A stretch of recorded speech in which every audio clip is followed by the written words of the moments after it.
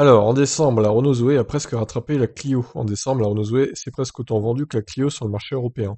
Si la Clio conserve une confortable avance sur ses ventes de sa comparse électrique dans l'Hexagone, les deux modèles sont au coude à coude sur le marché européen. En décembre, la Zoé s'est écoulée à un peu plus de 16 000 exemplaires, soit seulement 4 000 de moins que la Clio sur la même période.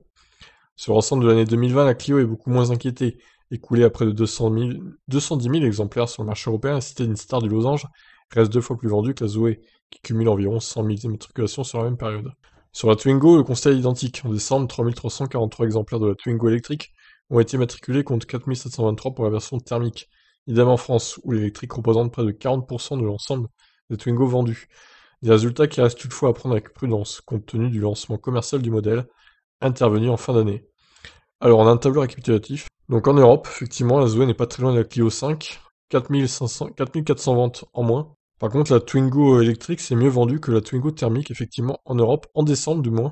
Et au total, bon, évidemment, la Twingo thermique reste devant, tout comme la Clio 5. Et en France, vous le voyez, la Zoé 5900, la Clio quasiment, ouais, 5000 voitures de plus vendues en décembre.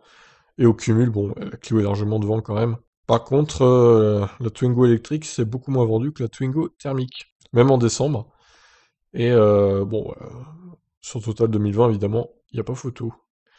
Eh bien, écoutez, sur ces chiffres euh, peu représentatifs, on va dire, pour l'instant, je pense que la Zoé, la pourra affronter la Clio quand vraiment l'électrique sera bien implanté en France et en Europe, notamment au niveau des bornes de recharge. Mais euh, globalement, bon, la Clio restera devant, hein, pour l'instant, du moins. Je vous laisse réagir donc sur ces chiffres. Ciao, ciao.